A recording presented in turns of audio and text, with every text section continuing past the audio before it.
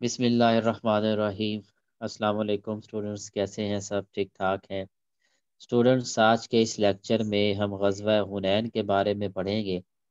غزوہ حنین آٹھ ہجری، فتح مکہ کے بعد ہوا۔ اگر غزوہ حنین کے پس منظر کی بات کریں، تو سیرت ابن حشام کے اندر ابن اسحاق رحمۃ اللہ علیہ کے حوالے سے یہ کہا گیا ہے۔ کہ جب بنو حوازن نے رسول اللہ صلی اللہ علیہ وآلہ وسلم اور فتح مکہ کے بارے میں سنا، تو مالک بن اوف نے بنو حوازن کو جمع کیا اور حوازن کے ساتھ ساتھ تمام بنو سکیف بھی اس کے پاس جمع ہو گئے۔ نیز، نصر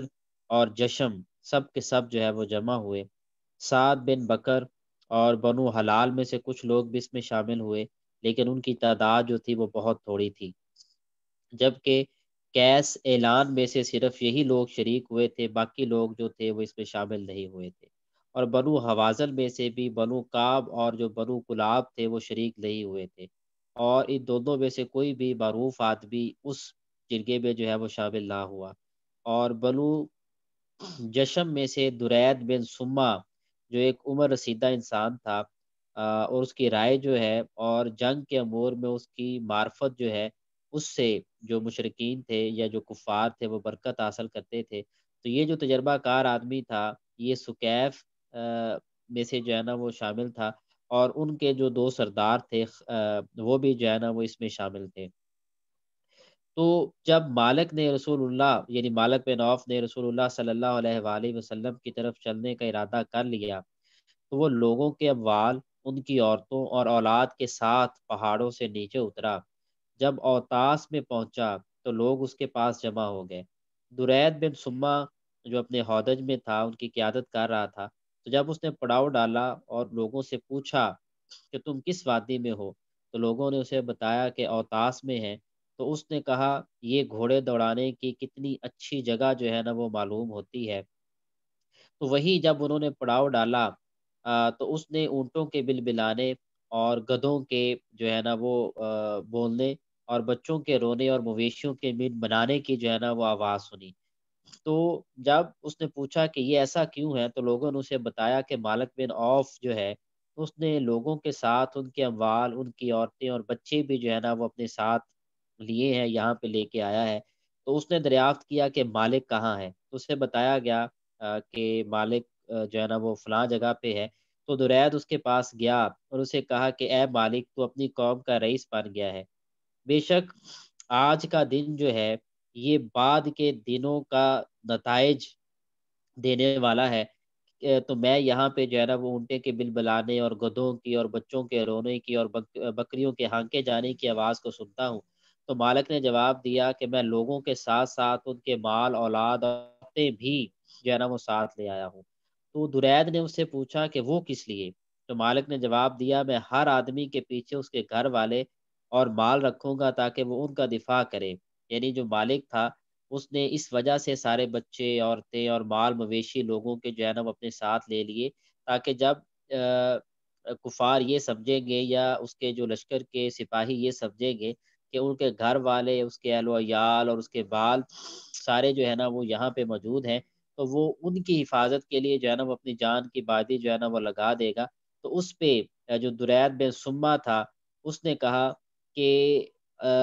یہ تم نے کیا تدبیر جو ہے نا وہ سوچی ہے؟ اس نے کہا کہ اگر جنگ تیرے حق میں ہو تو تجھے تلوار اور نیزہ ہی جو ہے وہ نفع دے گا، اور اگر جنگ تیرے خلاف ہو جائے تو تجھ سے تیرے گھر والے اور مال بھی جو ہے نا وہ چھین لے گی۔ تو اس نے جو ہے نا وہ کہا کہ یہ تم نے بڑا غلط فیصلہ کیا ہے، تمہیں ان کو نہیں لے کے آنا چاہیے تھا، کیونکہ اگر جنگ جو ہے وہ تمہارے خلاف ہو گئی تو یہ مال مویشی، یہ بیوی بچے یہ بھی جو ہے نا وہ سپاہیوں کو جو ہے نا وہ نہیں روک سکیں گے اور دشمن جو ہے وہ ایک تو فتح کرے گا، دوسری طرف یہ مال مویشی، یہ عورتیں، یہ بچے بھی جو ہے نا وہ ان کے پاس جو ہے نا وہ چلے جائیں گے۔ تو پھر اس درید نے جو ہے نا وہ دریافت کیا اس سے کہ کاب اور کلاب جو ہے نا وہ اس جنگ میں آئے ہیں یا نہیں آئے۔ تو لوگوں نے اسے بتایا کہ ان میں سے کوئی بھی جو ہے نا وہ جنگ میں حاضر نہیں ہوا۔ تو اس نے کہا کہ بہادری اور کوشش کرنے والے لوگ جو ہے وہ تو اس جنگ سے جو ہے نا وہ غائب ہیں۔ تو مجھے اس کا انجام جو ہے نا وہ بہتر جو ہے نا وہ نظر نہیں آتا ہے۔ تو مالک بن آف جو تھا، اس نے درید بن سما جو تھا، اس کو جھڑکا اور اس سے کہا کہ میں یہاں پہ جو ہے نا وہ ہوں اوور آل سپا سلار ہوں، تو میرا ہی جو ہے نا وہ حکم جو ہے نا وہ یہاں پہ چلے جا، چلے گا، تم بزرگ ہو گئے ہو، تمہاری کوئی بھی رائے جو ہے نا وہ یہاں پہ اب جو ہے نا وہ نہیں چلے گی۔ تو اس کے بعد جب رسول اللہ صلی اللہ علیہ وآلہ وسلم نے اس کے بارے میں سنا، تو آپ صلی اللہ علیہ وآلہ وسلم نے ان کی طرف یعنی کفار کی طرف جو ہے، وہ حضرت عبداللہ رضی اللہ تعالیٰ عنہ کو بھیجا اور انہیں حکم دیا کہ لوگوں میں داخل ہو جائیں، ان میں رہیں، یہاں تک کہ پوری خبر جو ہے، وہ اکٹھی کریں اور پھر آپ صلی اللہ علیہ وآلہ وسلم کو آ کر بتائیں۔ تو حضرت عبداللہ رضی اللہ تعالیٰ عنہ چلے، ان میں داخل ہو گئے، ان میں رہے، یہاں تک کہ تمام باتیں سنی، مشاہدات کیے اور رسول اللہ صلی اللہ علیہ وآلہ وسلم سے جنگ کے ارادے سے جو وہ جمع ہوئے تھے، اسے جانا۔ مالک میں نوف اور حوازن کے ارادوں کے بارے میں سنا اور آپ صلی اللہ علیہ وآلہ وسلم کی خدمت اقدس میں حاضر ہو کے وہ ساری باتیں جو ہے نا وہ بیان کی۔ تو رسول اللہ صلی اللہ علیہ وآلہ وسلم نے حضرت عمر بن خطاب رضی اللہ تعالیٰ عنہ کو طلب فرمایا اور ان کو جو ہے نا وہ ساری باتیں جو ہے نا وہ بتلائیں۔ تو وہیں پہ رسول اللہ صلی اللہ علیہ وآلہ وسلم نے ارادہ فرمایا کہ حوازن کی طرف جو ہے نا وہ پیش قدمی کریں تاکہ ان سے مقابلہ کریں، کیونکہ آپ صلی اللہ علیہ وآلہ وسلم بیت اللہ کی حرمت کو جو ہے نا وہ پامال نہیں کرنا چاہتے تھے۔ اسی وجہ سے آقا کریم صلی اللہ علیہ وآلہ وسلم نے یہ ارادہ فرمایا کہ مکہ مکرمہ یعنی حدود حرم سے باہر جا کے جو ہے نا وہ مقابلہ کیا جائے۔ تو آپ صلی اللہ علیہ وآلہ وسلم کے سامنے صفوان بن عبیہ کے جو پاس زرہیں تھی اور اس کے پاس جو اسلحہ تھا اس کے بارے میں ذکر کیا گیا۔ تو صفوان بن عبیہ مشرق تھا، ایمان نہیں لے کے آیا تھا۔ تو حضور صلی اللہ علیہ وآلہ وسلم نے صفوان کو پیغام بھیجا۔ تو اس نے، آپ صلی اللہ علیہ وآلہ وسلم نے اسے فرمایا کہ، اے ابو امیہ، ہمیں اپنا اسلحہ آریتن دے دو، جس کی مدد سے ہم کل دشمن سے جنگ کریں گے۔ تو صفوان نے کہا ہے محمد صلی اللہ علیہ وآلہ وسلم، یہ غضب ہوگا. حضور اکرم صلی اللہ علیہ وآلہ وسلم نے فرمایا، بلکہ وہ ادھار ہوگا اور اس کی تمہیں ضمانت جو ہے نا وہ دی جائے گی، ہم اس کو تمہارے حوالے کریں گے. تو صفان نے کہا، اس میں کوئی حرج نہیں ہے، تو اس نے سو ذرہیں جو ہیں وہ آپ صلی اللہ علیہ وآلہ وسلم کی خدمت اقدس میں جو ہے نا وہ حاضر کر دی تو پھر حضور اکرم صلی اللہ علیہ وآلہ وسلم جو ہے وہ، انہوں نے کوچ کیا اب اس لشکر کی اگر ہم بات کریں لشکر اسلام کی تو اس لشکر میں بچوں دو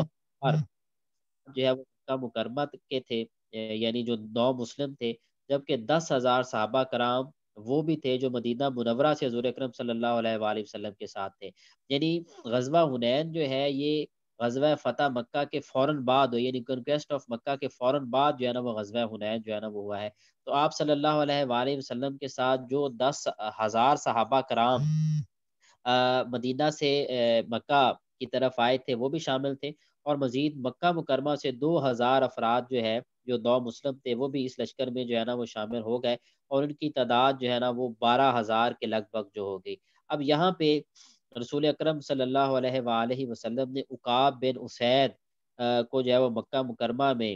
جو لوگ تھے ان کے اوپر امیر بنایا اور پھر آپ صلی اللہ علیہ وآلہ وسلم حوازن سے جنگ کرنے کے لیے جو ہے نا وہ تشریف لے گئے۔ تو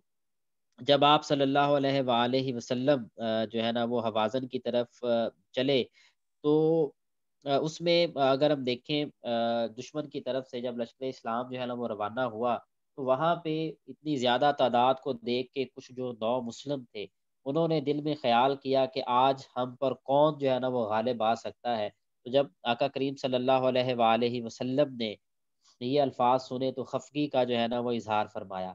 تو جب آپ جو ہے نا وہ نکلے، تو دشمن کے جو تیر انداز تھے، وہ راستے میں جو ہے نا وہ چھپے بیٹھے تھے اور ان کو ہدایت تھی کہ جو ہی مسلمان، مسلمانوں کا لشکر قریب آئے تو ان پر اچانک ہر طرف سے جو ہے نا وہ تیر برسائے جائیں۔ تاکہ مسلمان فوج میں بھگدڑ جو ہے نا وہ بچ جائے۔ چنانچہ ایسا ہی ہوا جو ہی لشکر اسلام وادی میں اترا تو دشمن فوج کے تیر اندازوں نے چاروں طرف سے جو ہے نا وہ تیر برسانے شروع کر دی۔ یعنی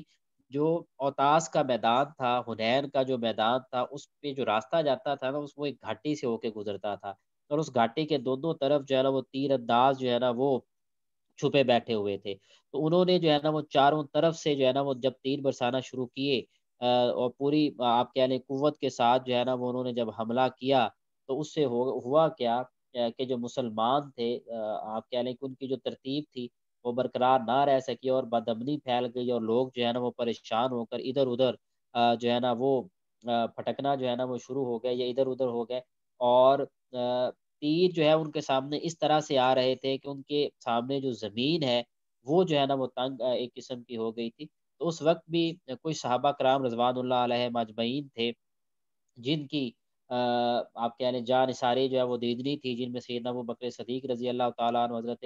عمر رضی اللہ تعالیٰ عنہ، علی رضی اللہ تعالیٰ عنہ، حضرت عباس رضی اللہ تعالیٰ عنہ، حضرت ابو سفیان، حضرت فضل بن عباس، حضرت ربیہ بن عباس، حضرت اسامہ بن زید رضی اللہ تعالیٰ عنہ اور حضرت احمد بن ام احمد رضی اللہ تعالیٰ عنہ موجود تھے، جنہوں نے جو ہے نا وہ آپ صلی اللہ علیہ وآلہ وسلم کے ساتھ جانثاری کا جو ہے نا وہ مظاہرہ کیا۔ تو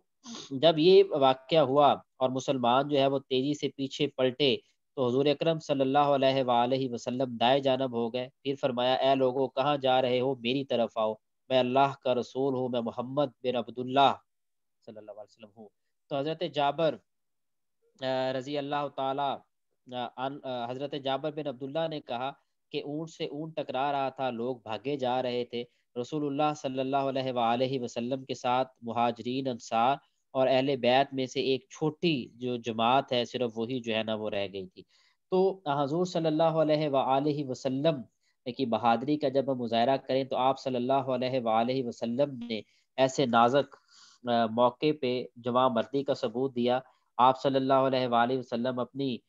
سواری سے اترے اور فرمایا انن نبی لا قذب میں نبی ہوں، اس میں کوئی جھوٹ نہیں۔ انا ابن عبد المطلب، میں مطلب کا بیٹا ہوں۔ تو پھر حضور صلی اللہ علیہ وآلہ وسلم نے حضرت عباس رضی اللہ تعالیٰ عنہ کو فرمایا کہ مہاجرین اور انصار کو پکارو، کیونکہ حضرت عباس رضی اللہ تعالیٰ عنہ کی آواز جو ہے نا وہ اونچی تھی۔ تو آپ صلی اللہ علیہ آپ حضرت عباس رضی اللہ تعالیٰ عنہ نے آپ صلی اللہ علیہ وآلہ وسلم کی ہدایت پر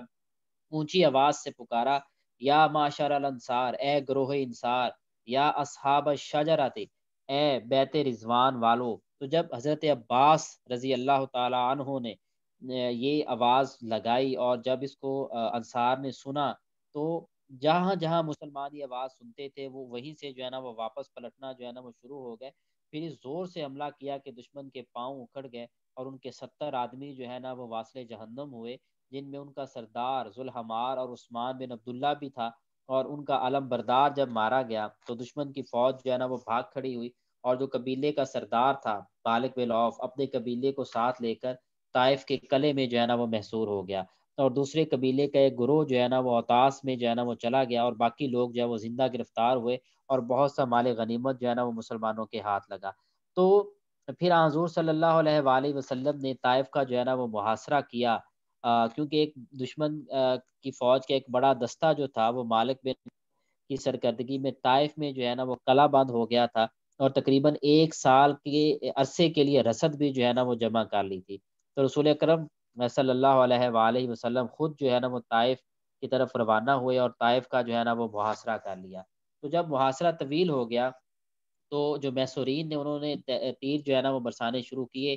جس سے مسلمانوں کو کافی نقصان ہوا اور قلعے کی دیوار پھلانگنے کی بھی کوشش کی گئی مگر وہ ناکام ہوئی۔ تو یہ محاصرہ جو ہے، وہ تقریباً بیس یوم تک جو ہے نا، وہ جاری رہا۔ اور جب معاشرے کو مزید طول دینا مسلمانوں کے لیے فائدہ مند نہ ہوا، تو آپ صلی اللہ علیہ وآلہ وسلم نے صحابہ کرام سے مشورہ فرمایا۔ تو تمام صحابہ نے اپنی رائے کا اظہار کیا کہ یہ لوگ چونکہ مسلمانوں سے برہوب ہو چکے تھے اور کھل کر مقابلے میں نہیں آ رہے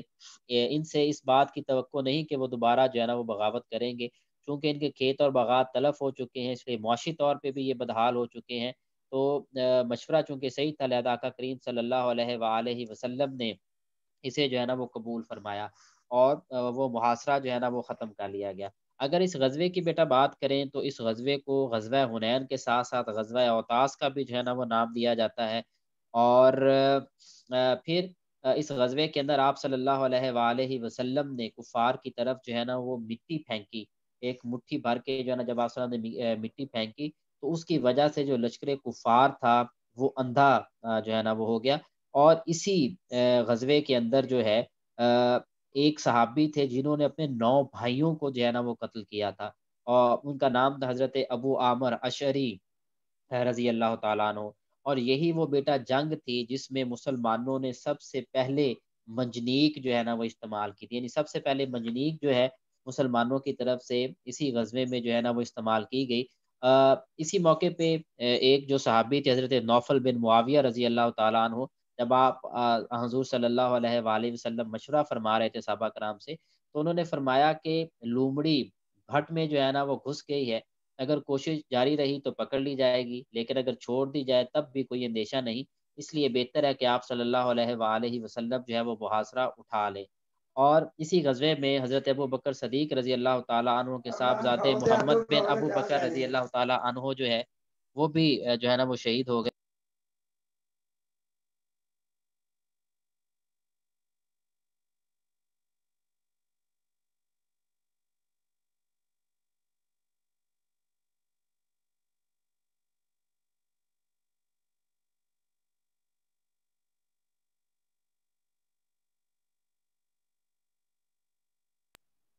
پھر اس غزوے کے اندر بچوں رسول اکرم صلی اللہ علیہ وآلہ وسلم نے بطور حق نہیں بلکہ مولفات القلوب کے لیے اہل قریش کے نو مسلموں کو فی کس جو ہے سو اونٹ اور پچاس بکریاں جو ہے وہ مال غنیمت بھی جو ہے نا وہ دیا۔ اس غزوے میں جو ہے نا وہ بارہ مسلمان جو ہے نا وہ شہید ہوئے۔ اور جیسے کہ میں نے پہلے بتایا کہ ستر جو کفات تھے، ان کو جو ہے وہ واصل جہنم جو ہے نا وہ کیا گیا۔ اب اس غزوے پہ ایک بہت جو انٹرسٹنگ واقعہ ہمیں ایک نظر آتا ہے، ایک بڑا ایمان افروز واقعہ جب ہمیں نظر آتا ہے کہ جب مسلمان جو ہے وہ گھاٹی میں سے گزر رہے تھے، جب کفار نے جو ہے نا وہ تیر تیر برسائے تھے، تو اس میں، اس سوار دستے میں حضرت خالد بن ولید رضی اللہ تعالیٰ عنہ بھی شامل تھے۔ اور وہ اس حد تک زخمی ہو گئے تھے کہ مسلمانوں نے یہ بے ہوش ہو گئے تھے، انتہائی تیر ان کو لگے تھے اور مسلمانوں نے یہ سمجھا کہ شاید آپ شہید ہو گئے ہیں۔ تو جب آپ صلی اللہ علیہ وآلہ وسلم نے حضرت عباس رضی اللہ تعالیٰ عنہ سے فرمایا کہ آواز لگائیں، سب کو بلائیں، سیدنا عباس رضی اللہ تعالیٰ عنہ نے سب کو بلایا۔ تو جب آقا کریم صلی اللہ علیہ وآلہ وسلم نے دیکھا تو خالد بن ولید رضی اللہ تعالیٰ عنہ جو ہے نا وہ نہیں تھے۔ تو آپ صلی اللہ علیہ وسلم نے دریات فرمایا کہ خالد کہاں ہے؟ تو مسلمان جب ان کی تلاش میں گیا دیکھا وہ ایک جگہ بہت شدید زخمی پڑے ہوئے تھے۔ بعض روایات کے مطابق یوں لگ رہا تھا کہ ان کی سانسیں چل ہی نہیں رہی تھی۔ تو جب ان کو آقا کریم صلی اللہ علیہ وآلہ وسلم کی بارگاہ اقدس میں جو ہے نا وہ پیش کیا گیا، تو آقا کریم صلی اللہ علیہ وآلہ وسلم نے جہاں تک مجھے یاد پڑتا ہے، آپ صلی اللہ علیہ وسلم نے ان کے جسم مبارک پہ جب پھونک ماری تو سیدنا خالد بن ورید رضی اللہ تعالیٰ عنہ جو ہے نا وہ اٹھ کھڑے ہوئے۔ اور پھر اس کے بعد آپ صلی اللہ علیہ وآلہ وسلم کے ساتھ جو ہے نا اس جنگ میں جو ہے نا وہ شریک ہوئے اور جس کو مسلمانوں نے جو ہے نا وہ فتح کیا اور پھر کفار کا جو ہے نا وہ تعاقب کیا گیا اور جب انہوں نے طائف میں جو ہے نا وہ اپنے آپ کو محسور کر دیا وہ واقعہ جو ہے نا وہ ہم بیان کر چکے ہیں تو یہ تھا ہمارا آج کا لیکچر اب یہاں پہ اگر ایک بات دیکھیں تو سٹارٹ میں جو میں نے بات بیان کی کہ جب جو دو مسلم تھے جب انہوں نے بارہ ہزار کا لشکر دیکھا جو کہ عرب کی جنگ میں ایک بہت بڑا لشکر جو تھا عرب کی تاریخ میں، تو انہوں نے اتنی بڑی تعداد کو دیکھ کے کہا کہ آج ہم پہ کون غالب آ سکتا ہے۔ تو ایک قسم کو انہوں نے غرور کا جو ہے نا وہ اظہار کیا۔ تو یہ بات جو ہے نا وہ آپ کہہ لیں کہ حضور صلی اللہ علیہ وآلہ وسلم نے بھی جو ہے نا وہ لاپسند فرمائی۔ اور اسی وجہ سے مسلمانوں کو کچھ مصائب کا بھی جو ہے نا وہ سامنا کرنا پڑا۔ تو یہ تھا ہمارا آج کا لیکچر جس کے اندر اپنے غزوہ ہنین کے کچھ تاریخی حقائق جو ہے نا، ان کو بیان کرنے کی جو ہے نا وہ کوشش کی۔ انشاءاللہ اپنے کل والے لیکچر کے اندر ہم آخری غزوہ یعنی غزوہ تبوک کے بارے میں جو ہے نا وہ ڈسکس کریں گے اور دیکھیں گے کہ غزوہ تبوک جو ہے، جو اسلام کا آخری غزوہ تھا، جو کہ نو ہجری کے اندر ہوا، اس کے حالات و واقعات جو ہے نا وہ کیا تھے؟ اس طرح ہمارا جو غزوات کا ایک